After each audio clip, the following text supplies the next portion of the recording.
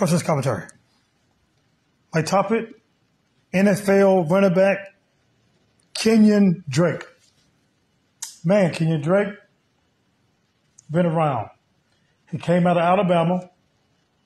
He was drafted to the Dolphins. He played for the Cardinals, played for the Raiders, played for the uh, Ravens, played for the Colts, played for the Ravens again, played with the Browns, and then played with the Packers. And now he's calling it quits. Has announced his retirement from the NFL after eight seasons. Now, this is career stats. He had 3,866 rushing yards.